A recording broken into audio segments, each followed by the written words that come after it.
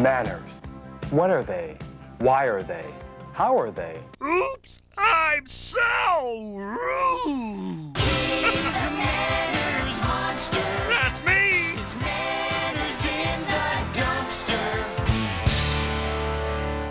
I know a lot about etiquette.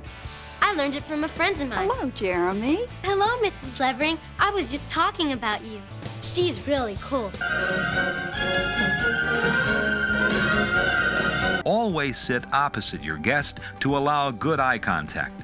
Side by side dining at a business lunch is disastrous. Knowing what to do starts when you first get there. The host leads, she follows, and he follows them. A woman host needs to make sure the maitre d' knows she's the one in charge.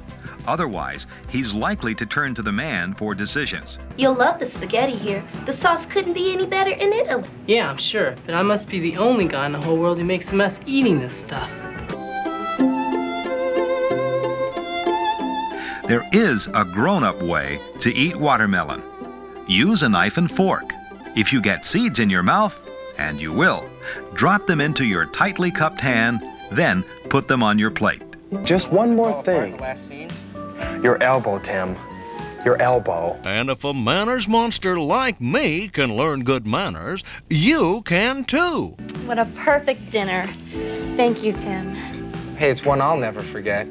Good company, good food, and oh yes, some good rules. And to all of you, all the success in the world. Your friends did just great. That's great to hear. Thank you for all your help, Mrs. Levering. No, thank you, Jeremy.